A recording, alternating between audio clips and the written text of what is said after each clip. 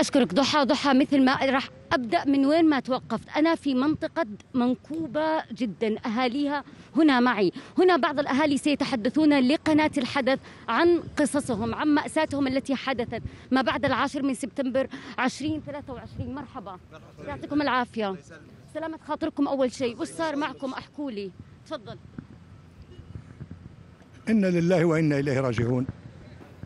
مصيبة جلل آه، أصابت هذا البلد لدرجة أن ما عادش إيش صار؟ إيش صار بالضبط؟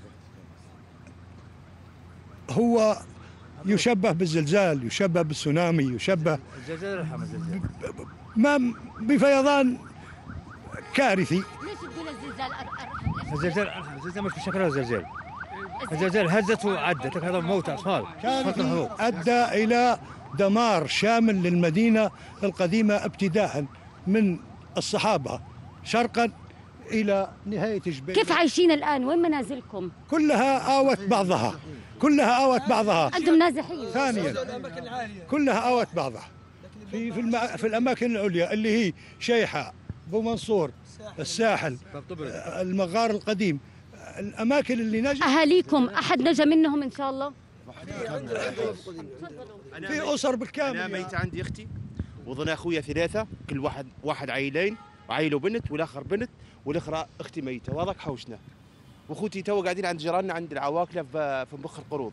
وأنا قاعد عند سيبتي في شيح انتشروا جثثهم؟ انت شنان في نفس في الثاني مين؟ الثاني- أنتم ولا السلطات؟ لا لا إحنا اللي شنان أول يوم السلطات ما دخلتش. ما فيش حد خش أول يوم. ثاني يوم خش ما خش يقدرش خش يخش الجيش.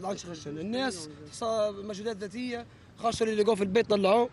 لكن أغلبية اللي وجدوهم في المربع هذا غير اللي قاعدين في الحوش جوا لقوهم من مناطق أخرى. جايبهم السيل من من مسافات بعيدة. السيل- من جهة الوادي. السيل جاب جثث؟ ما لقينا ناس- أول مرة نشوفوهم مصرية توانسة ليبية. في ناس بعد أيام ما عادش عرفوهم ما عادش عرفوا الملامح. ما عادش تعرفوا عليهم دفنوهم دغري. ما عادش تعرفوا عليهم. أحكوا لي عن الإنقاذ أحكوا لي. تفضل. هو درنا تقع على وادي درنا اللي هو الوادي ال- يقولوا يقال وادي الشوعر التسمية الصحيحة اللي تعرف به المدينة. الوادي هذا فيه سدين. سد آه، ضخم. قد تكون يشيل 42 متر ألف متر مكعب اللي بعده حوالي 18 ألف متر مكعب. السدود هذين من من 70 أو 72 إلى هذه اللحظة ما ما, ما أجريت عليه إحنا يا أستاذ ما نلموش على على السلطات تلموا تعذر هم داروا نظام آه، استنفار طوارئ دور حظر في البلاد قبل صحيح، قبل صحيح. ساعة المغرب الساعة 7 هم كانوا خايفين من البحر زي ما صحيح. صار في اليونان. تمت الأنظار كلنا على البحر. والسد له فترة تمطر ويمتلئ عند فوق وينزل. ما فيش منه خوف. لكن ربي قضى وقدر. عماها مع السد وركزوا على البحر.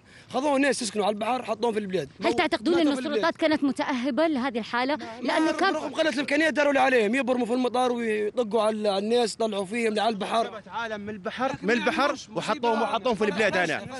الموضوع كان من الساعة 3 ل 4 منتي طلبكم الآن أبغى أوكي. أبناء اللي مات الله يرحمه. يحاولوا يطلعوا جثث اللي تحت الأرض.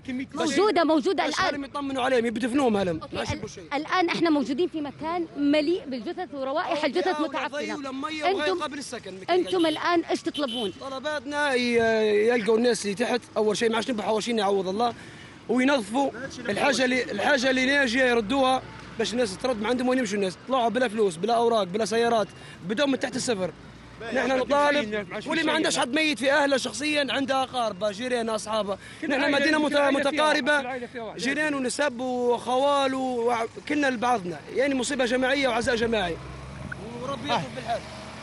خوتي اثنين واحد وليده وبنية والاخر والأخرى بنت شباب لقوهم في الحوش ثاني يوم في الصبح أهو الحوش قدامك أنت. مواليد. كلهم كلهم مواليد. أهو الحوش قدامك أنا. اللي طيح فيه اللي طيح فيه ما الزيق لقوهمش يا هذا أستاذ أول يوم لقوهم ثاني يوم بعد أول ما؟ نزلت المية لقوهم تحت صالون تحت دولاب ما شافوهمش بالعين تم دفنهم؟ تم دفنهم تم. دفن. لكن ما يقارب عن متأكد أنا في مربعات مثلا ما شاور مثلا ما نظفوهم من كثر الزحمة. برغم إن في ناس آه، جات فزاعد من برا ليبيا ومن من غرب ليبيا لكن آه، ما فيش آه، ما فيش إمكانيات. في مربع ورا التركين هذه ما فتشوش بالكل لكن ليش ما في أهل درنا؟ ونشكر جماعة ونشكر جماعة الغرب ما قصروش. جماعة الغرب بصفة عامة من من بنغازي وعدي غادي كلهم ما قصروش. الجنوب. مش من الجنوب كل ليبيا بالكامل ليبيا بالكامل. من من من طبرق قال امس تحدثت مع مراسل السي إن ان من قناه بريطانيا. قال لي العدد هذا ما شفتش في أي دولة ما قصروا شوكة شرب آه، مش مقصرين في أي حاجة مش مقصرين في أي حاجة. أي حاجة يبو أي حاجة يبيها مواطن يجيبها. حليب أطفال آه، قطن بتاع عويل أي حاجة مش مقصرين. اللي في استطاعتهم داروها لكن الله غالب الكارثة كبيرة. الكارثة ما تقدرش تصوري. الكارثة تبي الدول كارثه أكبر من دولة. تبي دول أوروبية. تبي إمكانيات من برا مش إمكانيات عربية. المية كانت ضخمة بالكل يعني مساحة المدينة بالكامل يعني ما قعد فيش كان قطش جوا.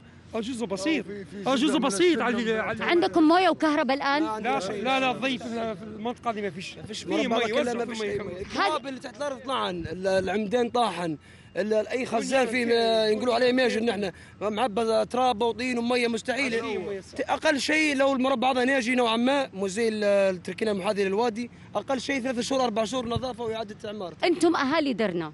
أنتم اللي عايشين الكارثة. الناس تبي تسمع منكم. مع جهود. السلطات. مع جهود السلطات. متى تعتقدون هذه المنطقة تنظف؟ ريحتها ترجع ريحة طبيعية ليست رائحة أموات. أقل شيء ست شهور خمس شهور. لو نظفوا يوميا أخرى. لو ينظفوا يوميا مش أقل من ست شهور خمس شهور. ستة أشهر لتنظيف الجثث تحق في الخلا هذه؟